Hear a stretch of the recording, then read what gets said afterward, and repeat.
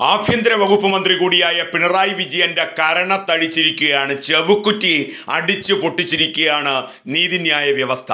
ആ നീതിന്യായ വ്യവസ്ഥയെ വെല്ലുവിളിക്കുന്ന പിണറായി വിജയൻ എന്ന ആഭ്യന്തര വകുപ്പ് മന്ത്രിയും ആ ആഭ്യന്തര വകുപ്പ് മന്ത്രിക്ക് കീഴിലുള്ള ലോക്നാഥ് ബെഹ്റ എന്ന ഈ സംസ്ഥാനത്തിന്റെ പോലീസ് സേനയുടെ അധിപൻ.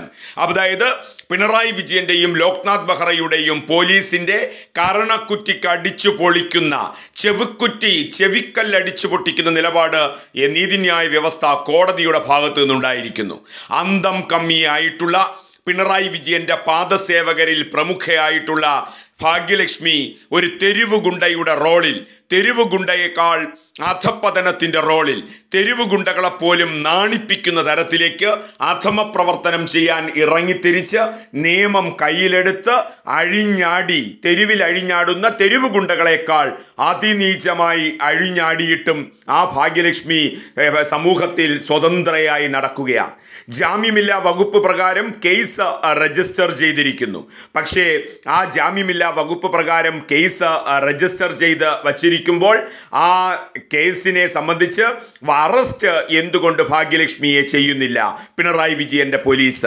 ഭാഗ്യലക്ഷ്മിയുടെ സ്ഥാനത്ത് മറ്റേതെങ്കിലും ഒരു സാധാരണ സ്ത്രീയായിരുന്നുവെങ്കിൽ മറ്റേതെങ്കിലും ഒരു സാധാരണ പുരുഷനായിരുന്നുവെങ്കിൽ ഇതേ രീതിയിലുള്ള സ്വാതന്ത്ര്യം ഇതേ രീതിയിലുള്ള ആനുകൂല്യം ലഭിക്കുമായിരുന്നു.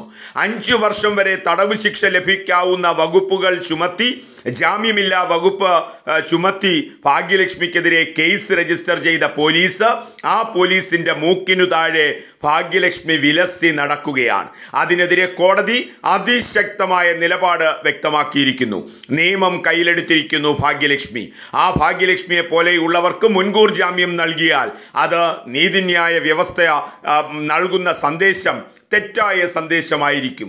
കൂടുതൽ കൂടുതൽ ക്രിമിനൽ സ്വഭാവമുള്ളവർ അവരുടെ ക്രിമിനലിസം വളരെ സ്വതന്ത്രമായി പ്രവർത്തിക്കാൻ ഉതകുന്ന തരത്തിലായിരിക്കും നടപടികൾ പോവുക.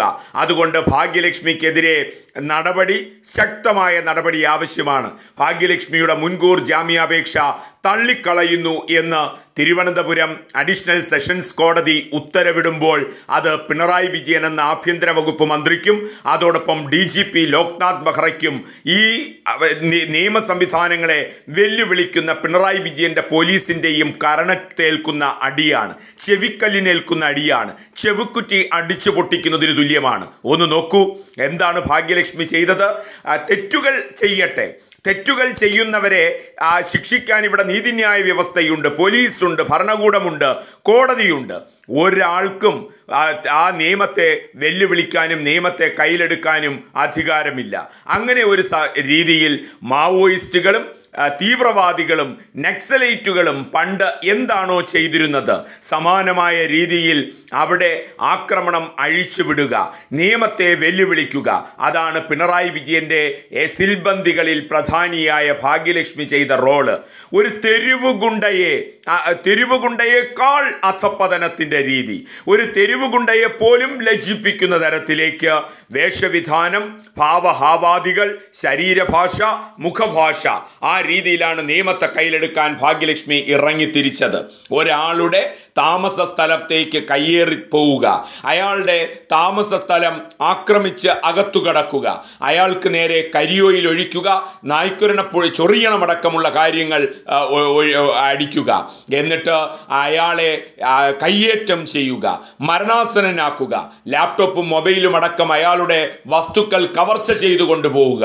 അപ്പോൾ ഒരാളുടെ വസ്തുവിലേക്ക് കടന്നുകയറ്റം ഭവനഭേദനം കൊലപാതക ശ്രമം കവർച്ച ഈ കുറ്റങ്ങൾ ചെയ്തിട്ടുള്ള ഭാഗ്യലക്ഷ്മി. ആ രീതിയിൽ ഭാഗ്യലക്ഷ്മിയെ അറസ്റ്റ് ചെയ്തു ജയിലിൽ അടയ്ക്കാൻ പിണറായി വിജയന്റെ പോലീസിന് നാളുകൾ എത്ര എടുക്കുന്നു. ആ പിണറായി വിജയന്റെ പോലീസിന്റെ മൂക്കിനു താഴെ ഭാഗ്യലക്ഷ്മി സ്വതന്ത്രയായി നടക്കുകയാണ്. ആ ഭാഗ്യലക്ഷ്മിയുടെ മുൻകൂർ ജാമ്യാപേക്ഷ കോടതി തള്ളിക്കളയുമ്പോൾ അപ്പോഴും ഭാഗ്യലക്ഷ്മിയെ അറസ്റ്റ് ചെയ്യേണ്ട എന്ന തീരുമാനം. ഭാഗ്യലക്ഷ്മി ഹൈക്കോടതിയിലേക്ക് പോകാൻ ഭാഗ്യലക്ഷ്മിക്ക് അവസരമൊരുക്കുന്നു. വേണ്ടി വന്നാൽ സുപ്രീം കോടതിയിൽ പോകാനും ഭാഗ്യലക്ഷ്മിക്ക് അവസരമുണ്ടാക്കും. എങ്കിൽ പോലും ഭാഗ്യലക്ഷ്മിയെ അറസ്റ്റ് ചെയ്യില്ല എന്ന പിണറായി വിജയന്റെ തിട്ടൂരം പിണറായി വിജയൻ പോലീസിന്റെ തിട്ടൂരം വിമർശന വിധേയമാവുകയാണ്. ഇന്ത്യയുടെ ഭരണഘടനയും ഇന്ത്യയുടെ നീതിന്യായ വ്യവസ്ഥയും പറയുന്നത് നിയമം എല്ലാവർക്കും ഒരുപോലെയാണ്.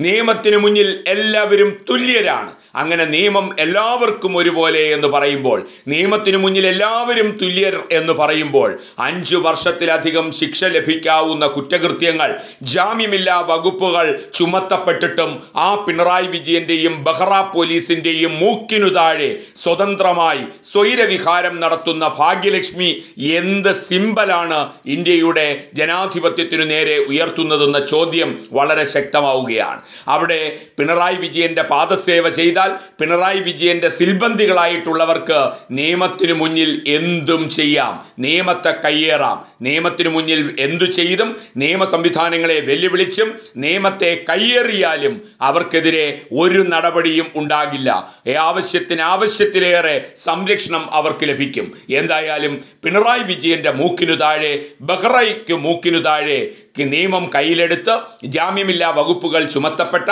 അഞ്ചു വർഷത്തോളം ശിക്ഷ ലഭിക്കാവുന്ന കുറ്റകൃത്യം ചെയ്ത ഭാഗ്യലക്ഷ്മി ഞെളിഞ്ഞു വിലസി നടക്കുമ്പോൾ അവിടെ ഭാഗ്യലക്ഷ്മി ചെയ്തത് കൊടും തെറ്റാണെന്നും നിയമത്തിനു മുന്നിൽ ഭാഗ്യലക്ഷ്മി കുറ്റക്കാരിയാണെന്നും ഭാഗ്യലക്ഷ്മിക്ക് മുൻകൂർ ജാമ്യം കൊടുത്താൽ അത് ഇന്ത്യൻ ജനാധിപത്യത്തിലെയും കുറ്റകൃത്യവുമായി ബന്ധപ്പെട്ട തെറ്റായ ധാരണകൾ പരത്തുമെന്നുള്ള കോടതിയുടെ നിരീക്ഷണം. അങ്ങനെ മുൻകൂർ ജാമ്യാപേക്ഷ തള്ളിക്കളയുക വഴി പിണറായി വിജയന്റെയും ബഹ്റയുടെയും കരണത്തടിച്ചിരിക്കുകയാണ് ഇന്ത്യയുടെ നീതിന്യായ വ്യവസ്ഥ.